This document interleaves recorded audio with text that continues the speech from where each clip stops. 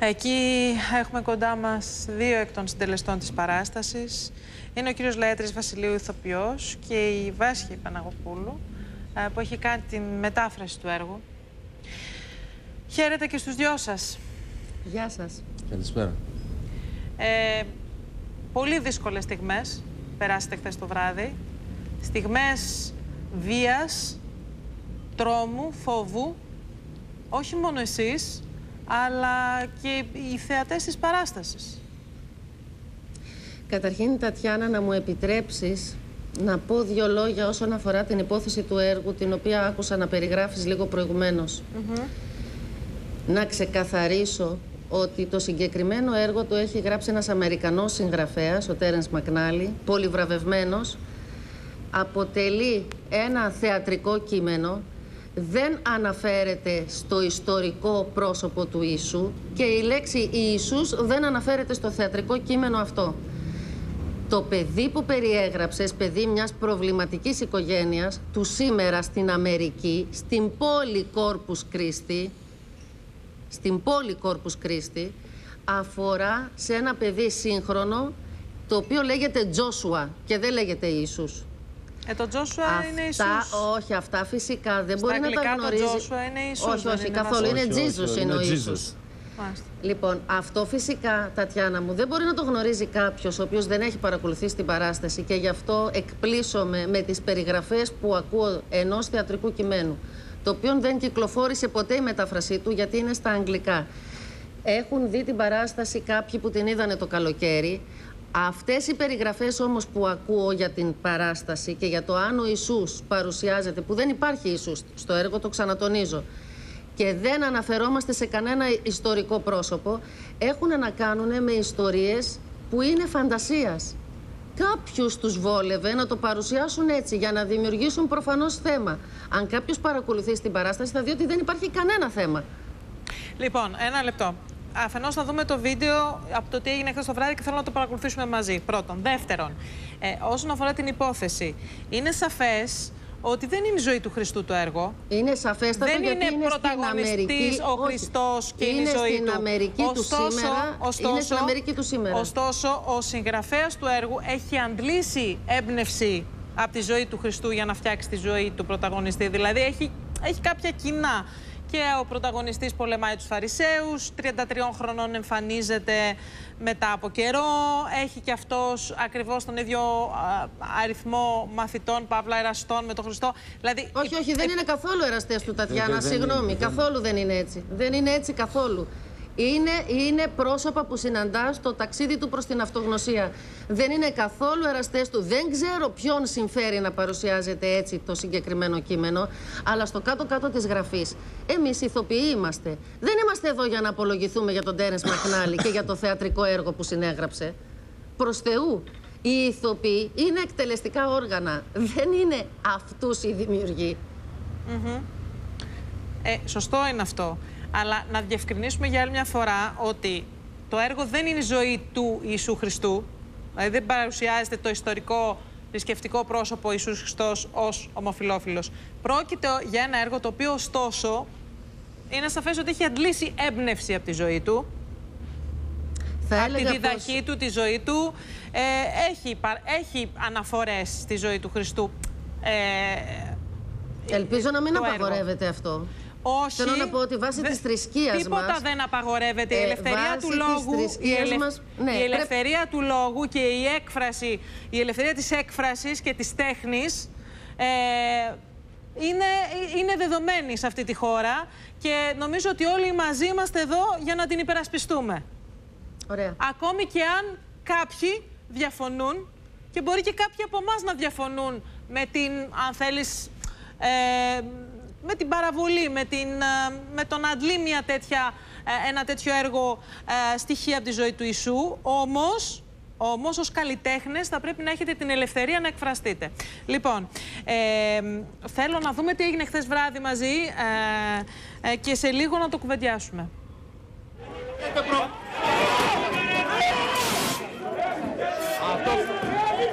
Ένταση, χημικά και συνθήματα κατά των ηθοποιών και της παράστασης Κόρπους Κρίστη έξω από το θέατρο Χιτήριο χθες βράδυ στην Ιερά Οδό. Μπράβο, Μεσίνη! Κάτω στα σκουπίδια! Ελλάδα σημαίνει ορθοδοξία! Ελλάδα σημαίνει ορθοδοξία! Άνδρες των ΜΑΤ σπρώχνουν μέλη παραθρησκευτικών οργανώσεων που συγκεντρώθηκαν έξω από το θέατρο, κρατώντας σταυρούς και εικόνες στα χέρια για να διαμαρτυρηθούν για την παράσταση. Υποστηρίζουν ότι το περιεχόμενό της προσβάλλει τον Ελληνισμό και τον Χριστό, καθώς τον παρουσιάζει ως ομοφιλόφιλο. Οι αστυνομικοί έκαναν χρήση χημικών για να τους απομακρύνουν. Την ίδια ώρα οι ηθοποιοί βρίσκονται εγκλωβισμένοι μέσα στο θέατρο και δεν μπορούν να βγουν. Όπως υποστηρίζουν όσοι είχαν συγκεντρωθεί έξω από το θέατρο για να διαμαρτυρηθούν, τους πέταξαν πέτρες ενώ τραυμάτισαν και κάποιους θεατές. Δεν είναι δουλειά των ηθοποιών όμως να παίζουν φρουρούμενοι από αστυνομικές δυνάμεις. Αυτό τώρα που μέσα είναι το σωματείο μας μου θύμισαν ότι συνέβαινε μόνο στη Χούντα. Το μεγάλο μας τσίρκο πεζόταν με περιφρούς της αστυνομίας. Λυπάμαι, δεν πιστεύω ότι στη χώρα που ζω έχω Χούντα και δεν θέλω να πιστεύω ότι σαν ηθοποιός θα παίζουμε εδώ πέρα στο θέατρο φρουρούμενοι από τα μάτια.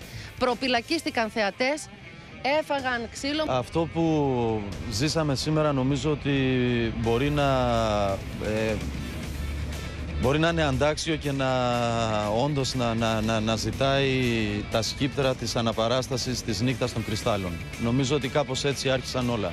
Παρόντες ήταν και βουλευτές της χρυσής αυγής. Σήμερα προσπαθήσανε ανεπιτυχώς για δεύτερη φορά να ξεκινήσουν μια παράσταση η οποία είναι βλάσφημη και για τον πιο απλό Έλληνα.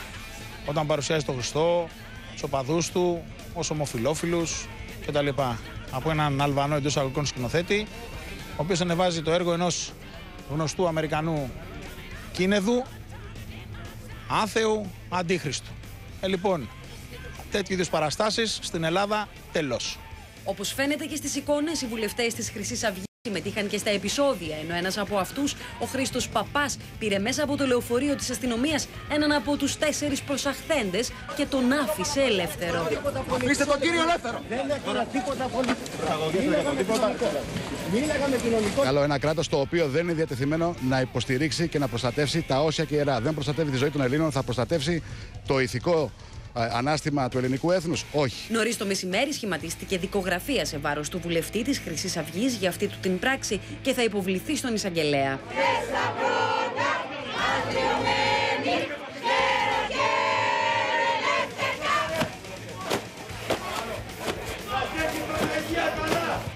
Κατατεθεί ασφαλιστικά μέτρα ώστε να μην ανέβει η παράσταση, αλλά απορρίφθηκαν από το δικαστήριο. Από την αρχή των παραστάσεων υποστήκαμε καταρχήν ένα κατατρεγμό, τον οποίο εγώ δεν τον κατάλαβα ποτέ. Δηλαδή τον Ιούνιο μας υπευλήθη μια μήνυση ε, ε, από δύο κυρίες που είχαν έρθει κατά δήλωσή τους και είχαν δει την παράσταση. Εγώ το αμφισβητώ αυτό. Θεωρώ ότι δεν την είχαν δει. Ε, με τη διαδικασία του, της αυτόφορης σύλληψης, τρεις συνάδελφοι ηθοποιοί οδηγήθηκαν στο τμήμα της Ομόνιας και κρατήθηκαν για δύο ώρες. Από όσο ξέρω έχει ασκηθεί ποινική δίωξη εναντίον όλων των συντελεστών της παράστασης. Και ακολούθως τώρα που από ανακοινώσαμε ότι θα επαναληφθεί η παράσταση, ε, εκδικάστηκαν δύο αιτήσεις ασφαλιστικών μέτρων ε, που ζητούσαν την απαγόρευση της παράστασης. Και οι δύο αιτήσεις απερίφθησαν. Θα ήθελα να δανειστώ μια φράση του Μπρέχτ όταν ε, είπε ότι στην αρχή όταν ήρθαν για τους ε, κομμουνιστές εγώ δεν είπα τίποτα γιατί δεν ήμουν κομμουνιστής. Όταν ήρθαν να πάρουν τους ομοφιλόφιλους πάλι δεν είπαν τίποτα γιατί δεν ήμουν ομοφιλόφιλος. Όταν ήρθαν να πάρουν τους Εβραίους πάλι δεν είπα τίποτα γιατί δεν ήμουν Εβραίος, άρα δεν με αφορούσε. Όταν ήρθαν να πάρουν εμένα δεν είχε μείνει πια κανείς για να με υποστηρίξει. Κάτω στα σκουπίδια! Έχουμε ακούσει πολλά σχόλια, έχουμε διαβάσει επίσημες κριτικές από επίσημους κριτικούς που έχουν δει την ταινία και μάλιστα αποκαλούν το θέμα της ταινίας, δηλαδή τη ζωή του Ιησού Χριστού, παραμυθάκι. Όταν μια κυρία προσπάθησε να μπει στο θέατρο για να δει τους ηθοποιούς και τον σκηνοθέτη, οι συγκεντρωμένοι αντέδρασαν μεταξύ αυτών και ο βουλευτής της Χρυσής Αυγής, Χρήστος Παπάς. Ποια είστε εσείς, το Λαέρτη θέλετε. Λαέρτη, έλα αγόρι μου έξω. Έλα, έλα αγόρι μου έξω. Έλα αγόρι μου. Λαέρτη. Έλα, Μπουμπούκο, έλα. Ο Ηλίας Παναγιώτερος μάλιστα δεν δίστασε να χρησιμοποιήσει βαρείς χαρακτηρισμούς για τον σκηνοθέτη της παράστασης Λαέρτη Βασιλείου, ο οποίος κατάγεται από την Αλβανία. Άντε κολοπ***ες! στο ποιητικό.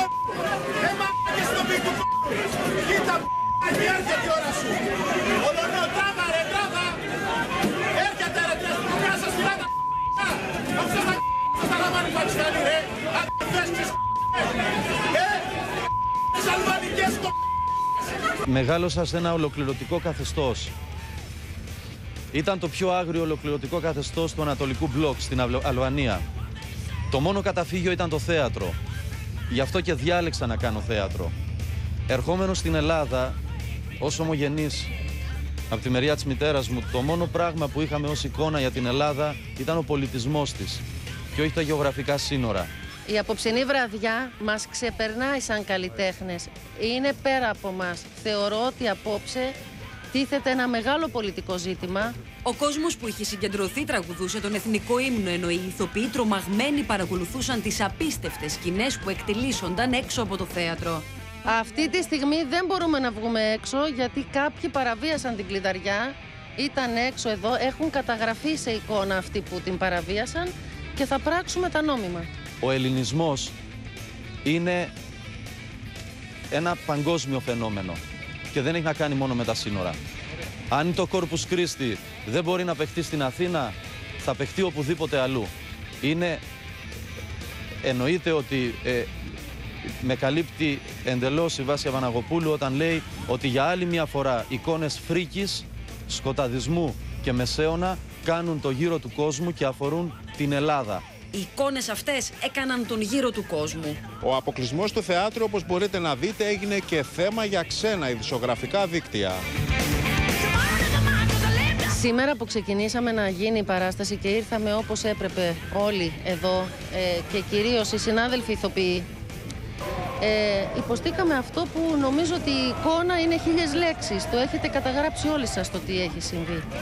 Και δυστυχώς στις δύσκολες ώρες που περνάει η χώρα μας ξανακάνει το γύρο του κόσμου από όσο μαθαίνω για εικόνες που μας κάνουν να ντρεπόμαστε όλοι. Κάποτε κάψαν στην πυρά τον Τζορντάνο Μπρούνο, τον Γαλιλαίο Γκαλιλέη. Και σήμερα η σύγχρονη επιστήμη βασίζεται μόνο σε αυτούς. Αν θέλουν να μας κάψουν στην πυρά, είμαστε εδώ. Στον τόπο των επεισοδίων έφτασαν και βουλευτές άλλων κομμάτων. Απίστευτο ότι τόσο λίγοι άνθρωποι μπορούν και επιβάλλουν τη θέλησή τους αυτή τη στιγμή. Νομίζω είναι ντροπή για όλους μας η απόψινή βραδιά.